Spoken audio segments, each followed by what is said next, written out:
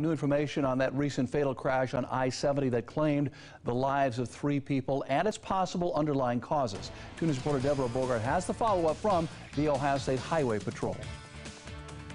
A lieutenant with the Dayton Post says ongoing construction is causing many issues on I-70 as they have had several multi-vehicle crashes in the last several weeks, including that triple fatality crash last week. We're having problems in that area because there's there's um, construction going on in the state of Indiana, but when it backs up because of their intermittent lane work, it's backing up into Ohio.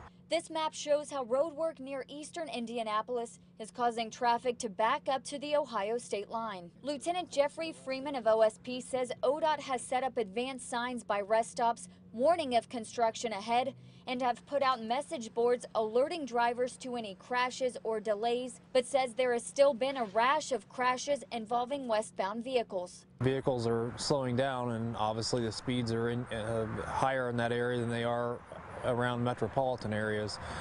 And then when people are stopping, either people aren't paying attention or they're driving too fast to get stopped in time. He says the best way to prevent a crash is avoid any distractions and pay attention to what's going on in front of you as well as to your side. Do you see flashing lights ahead as far as do you see uh, hazard lights flashing that's and other drivers indicating that there's something ahead. According to Indiana Department of Transportation, lane closures are happening both directions seven days a week and are expected to last through November. Deborah Bogart, 5 on 2.